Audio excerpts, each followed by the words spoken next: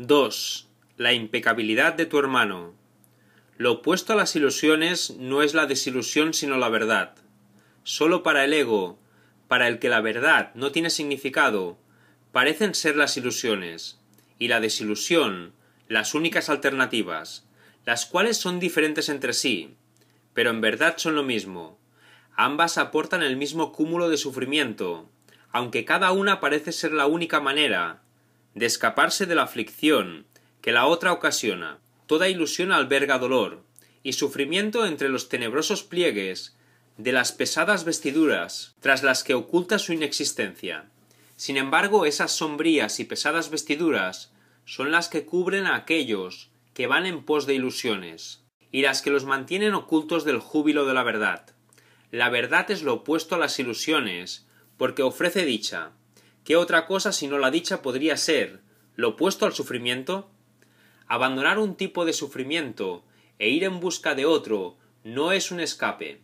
Cambiar una ilusión por otra no es realmente un cambio. Tratar de encontrar felicidad en el sufrimiento es una insensatez. Pues, ¿cómo se iba a poder encontrar felicidad en el sufrimiento? Lo único que se puede hacer en el tenebroso mundo del sufrimiento es seleccionar algunos aspectos de él, verlos como si fuesen diferentes y luego definir la diferencia como felicidad. Percibir una diferencia donde no la hay, no obstante realmente no cambia nada. Lo único que hacen las ilusiones es ocasionar culpabilidad, sufrimiento, enfermedad y muerte a sus creyentes. La forma en que las ilusiones se aceptan es irrelevante. A los ojos de la razón, ninguna forma de sufrimiento se puede confundir con la dicha. La dicha es eterna. Puedes estar completamente seguro de que todo lo que aparenta ser felicidad y no es duradero es realmente miedo. La dicha no se convierte en pesar, pues lo eterno no puede cambiar, pero el pesar puede volverse dicha, pues el tiempo cede ante lo eterno, únicamente lo eterno permanece inmutable, pero todo lo que se encuentra en el tiempo puede cambiar con el paso de éste. No obstante, para que el cambio sea real y no imaginado, las ilusiones tienen que ceder ante la verdad y no ante otros sueños igualmente irreales. Eso no sería diferente. La razón te dirá que la única manera de escaparte del sufrimiento es reconociéndolo y tomando el camino opuesto. Toda verdad es lo mismo, y todo sufrimiento es lo mismo también, pero ambos son diferentes entre sí, desde cualquier punto de vista, en toda circunstancia y sin excepción.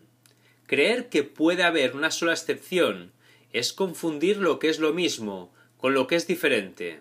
Una sola ilusión que se abrigue y se defienda contra la verdad priva a ésta de todo significado y hace que todas las ilusiones sean reales. Tal es el poder de la creencia, la cual es incapaz de transigir y la fe en la inocencia sería fe en el pecado, si la creencia excluyera una sola cosa viviente y le negase la bendición de su perdón. Tanto la razón como el ego te dicen eso mismo, pero la interpretación que hacen de ello es completamente diferente. El ego te asegura ahora que es imposible que puedas ver a nadie libre de culpa, y si esta manera de ver es la única que puede liberarte de la culpabilidad, entonces la creencia en el pecado no puede sino ser eterna. Pero la razón ve eso de otro modo, pues la razón ve que la fuente de una idea es lo que hace que ésta sea cierta o falsa. Esto tiene que ser así, si la idea es semejante a su fuente. Por lo tanto, dice la razón, si el propósito que se le asignó al Espíritu Santo fue ayudarte a escapar de la culpabilidad, y ese propósito le fue dado por aquel para quien nada que su voluntad disponga es imposible, los medios para lograr ese objetivo tienen que ser más que posibles. Tienen que existir, y tú tienes que estar en posesión de ellos. Esta es una etapa crucial en este curso, pues en este punto tiene que tener lugar una completa separación entre tú y el ego, pues si ya dispones de los medios para dejar que el propósito del Espíritu Santo se alcance, dichos medios pueden utilizarse. A medida que los utilices, tu fe en ellos será cada vez mayor. Para el ego, sin embargo, eso es imposible, y nadie emprende lo que no ofrece ninguna esperanza de poderse lograr. Tú sabes que lo que la voluntad de tu creador dispone es posible, pero aquello que tú inventaste no lo cree.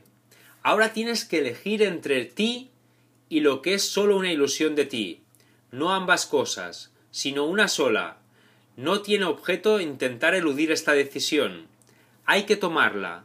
La fe y la creencia pueden inclinarse hacia cualquiera de esas dos opciones, pero la razón te dice que el sufrimiento se encuentra únicamente en una de ellas y la dicha en la otra. No abandones a tu hermano ahora, pues vosotros que sois lo mismo, no decidiréis por separado, ni en forma diferente. Os dais el uno al otro, o bien vida, o bien muerte. Sois cada uno el salvador del otro, o su juez, y os ofrecéis refugio, o condenación. Este curso o bien se creerá enteramente, o bien no se creerá en absoluto, pues es completamente cierto, o completamente falso, y no puede ser creído solo parcialmente. Y tú te escaparás enteramente del sufrimiento, o no te escaparás en absoluto. La razón te dirá que no hay un lugar intermedio donde te puedas detener indeciso, esperando a elegir entre la felicidad del cielo o el sufrimiento del infierno. Hasta que no elijas el cielo, estarás en el infierno y abatido por el sufrimiento. No hay ninguna parte del cielo de la que puedas apropiarte y tejer ilusiones de ella. No hay una sola ilusión con la que puedas entrar en el cielo un Salvador no puede ser un juez ni la misericordia puede ser condenación, y la visión no puede condenar, sino únicamente bendecir. Aquel cuya función es salvar, salvará. ¿Cómo lo ha de lograr?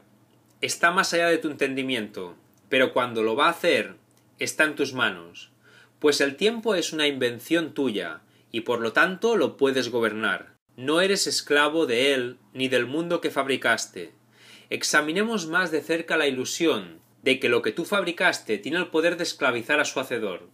Esta es la misma creencia que dio lugar a la separación.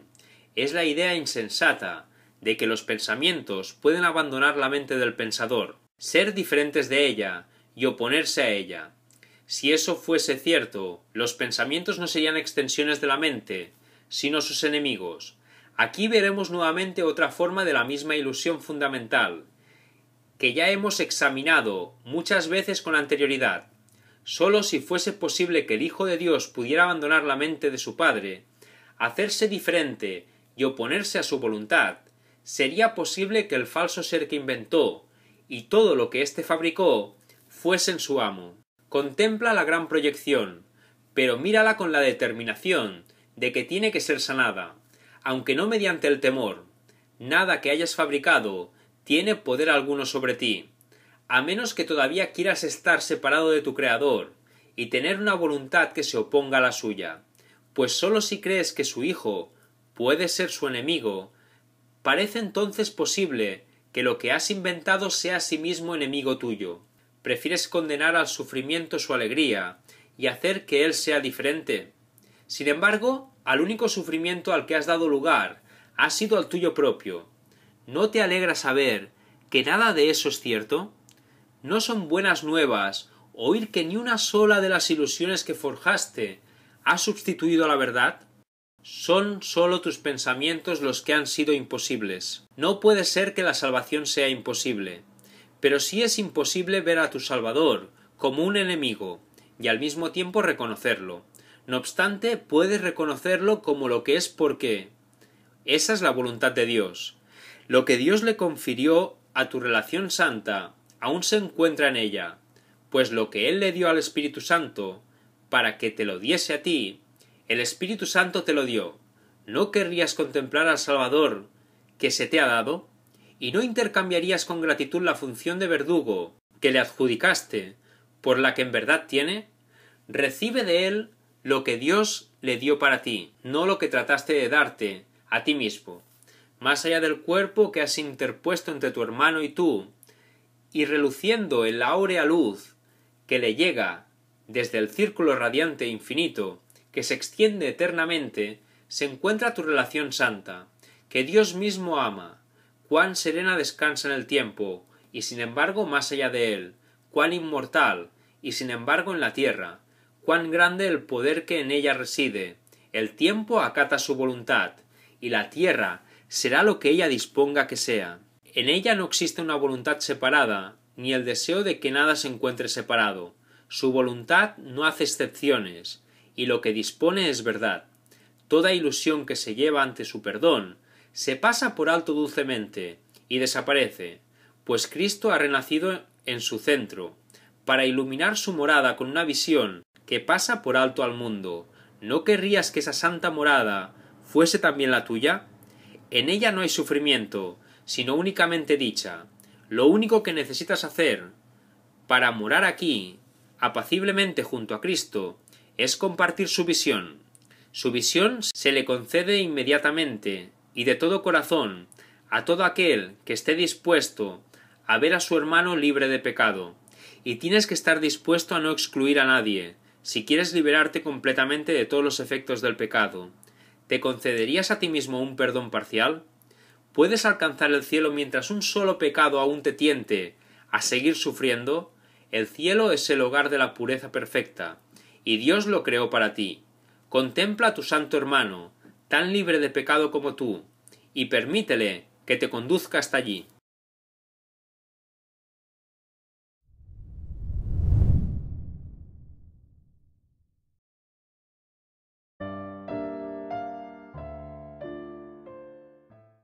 —2. La impecabilidad de tu hermano. Lo opuesto a las ilusiones no es la desilusión sino la verdad.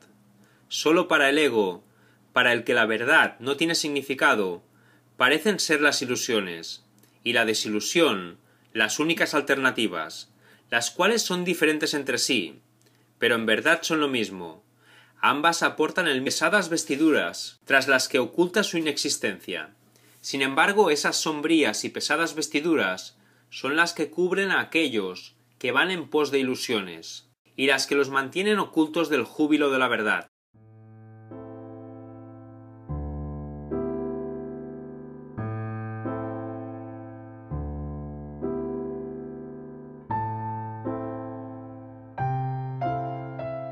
mismo cúmulo de sufrimiento, aunque cada una parece ser la única manera de escaparse de la aflicción que la otra ocasiona. Toda ilusión alberga dolor y sufrimiento entre los tenebrosos pliegues de las